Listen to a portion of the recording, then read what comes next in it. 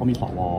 ออกมาหารือสวเจเรื่องเรื่องระเบียบของราชทานที่คุมขังนอกเรือนจำแล้วก็มันก็ไปสังคมตั้งข้อสงสัยถึงเรื่องไปถึงคุณทักษิณอะไรเงี้ยครับว่าจะมีการเอื้อผลประโยชน์หรือเปล่า ในฐานะที่ก้าวไกลเนี่ยรณรงค์เรื่องความเหลื่อมล้ำอยู่แล้ว ตรงนี้มีมีจุดยืนแล้วก็แนวทางยังไงก็เรื่องนี้เป็นต้องยอมรับว่าเป็นประเด็นที่สังคมจับตานะครับ เพราะว่าต้องบอกว่าเเรามีปัญหาเรื่องกระบวนการยุติธรรมแบบสองมาตรฐานมาโดยตลอด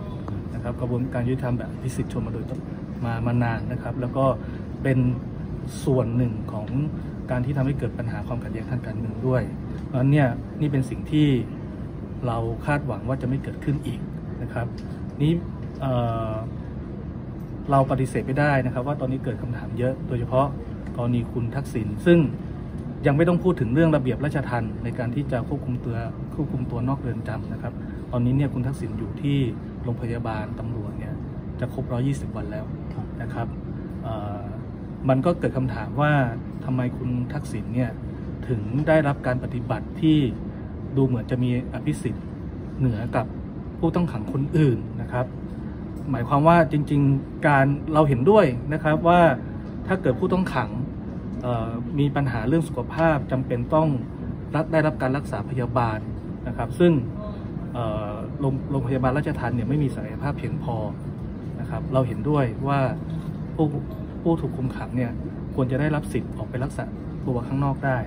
นะครับ แต่ปัญหาที่ผ่านมาต้องยอมรับว่ามีผู้ต้องขังน้อยมากนะครับ ที่ได้รับสิทธิ์นี้นะครับหลายคนนะครับ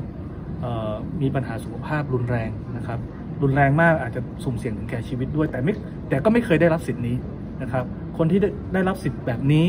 นะครับ มักจะเป็นคนที่มีอิทธิพลทางการเมืองนะครับ หรือคนที่มีฐานะนะครับ แต่คนธรรมดานี่ไม่เคยได้รับเลยนะน้อยมากเท่าที่ทราบไม่เห็นเลยนะครับ ปัญหาก็คือว่า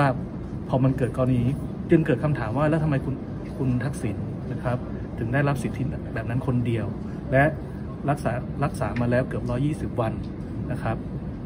ทำไมยังได้รับสิทธินั้นอยู่นะครับ ซึ่งก็ไม่มีคำตอบผมคิดว่าเรื่องนี้รัฐบาลเนี่ย ไม่ควรปล่อยไว้ ควรจะตอบสังคมให้ชัดเจนนะครับ และเรื่องนี้แหละถึงทำให้เกิดการตั้งคำถามกับระเบียบของราชทัณฑ์ที่ออกมานะครับ อันใหม่เนี่ยด้วยเพราะว่าปรากฏการณ์นี้เลยถูกทำให้คนจำนวนหนึ่งเนี่ยสงสัยว่า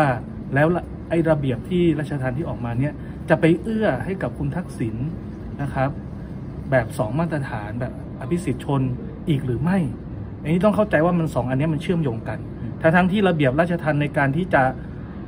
ควบคุมตัวนะครับ ผู้ถูกต้องผู้ต้องขังเนี่ยนอกเดือนจำเนี่ยต้องบอกก่อนโดยหลักการเนี่ยเป็นเรื่องที่ดีนะครับ แล้วจริงๆควรจะทำมานานแล้ว ในหลายประเทศที่พัฒนาแล้วเนี่ยก็พัฒนากระบวนการพวกนี้ในการที่จะ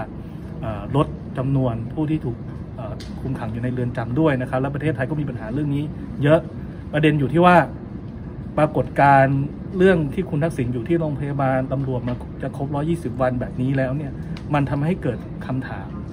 ว่ามันจะเมื่อถ้าระเบียบนี้จะถูกใช้ไปในแบบ 2 มาตรฐาน หรือมีใครได้รับอภิสิทธิ์นะครับเเพียงกลุ่มใดกลุ่มหนึ่งหรือไม่เนี่ย มันต้องเข้าใจสังคมว่าสังคมทำไมสังคมถึงตั้งคำถามแบบนี้ ดังนั้นรัฐบาลไม่ควรจะปล่อย ควรจะตอบคำถามให้ชัด ทั้งเรื่องกรณี 120 วันที่โรงพยาบาลตำรวจ ทั้งกรณีระเบียบราชทัณฑ์เพื่อให้สังคมสบายใจว่ายืนยันหนักแน่นว่าเรื่องนี้ ทุกคนจะได้รับสิทธินะครับ ในกระบวนการยุติธรรมนะครับ เสมอภาคเท่าเทียมกัน ไม่มีใครที่ได้รับอภิสิทธิ์เหนือคนอื่นนะครับ ต้องตอบให้ได้นะครับ นอกจากนั้นเนี่ยระเบียบก็ยังมีปัญหานะครับ ระเบียบเนี่ย